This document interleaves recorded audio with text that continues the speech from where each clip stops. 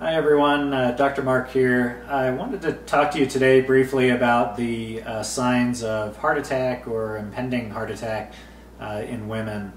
Um, if you watched my um, prior video uh, about what is a heart attack, I uh, talked in that uh, video about the signs of a heart attack.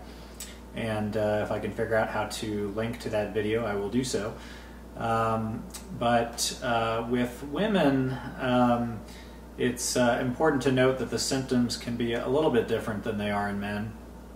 Uh, heart disease is uh, extremely common. Um, you know, about uh, someone has a heart attack about uh, every 43 seconds, um, and heart disease is the number one killer in women.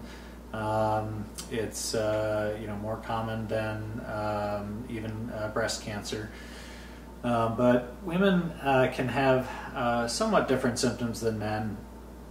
Um, in women, uh, chest pain or pressure is still the most common symptom, but women are more likely than men to have some of the other symptoms, such as shortness of breath, um, lower uh, chest pain or upper abdominal pain, uh, sometimes lightheadedness, um, nausea, vomiting, uh, sweatiness, and uh, sometimes pain in the upper back can actually be uh, their uh, equivalent of chest pain. Um, if you have any of those symptoms or are concerned that you uh, might be having a heart attack, as always, um, uh, best to uh, get checked out as quickly as possible.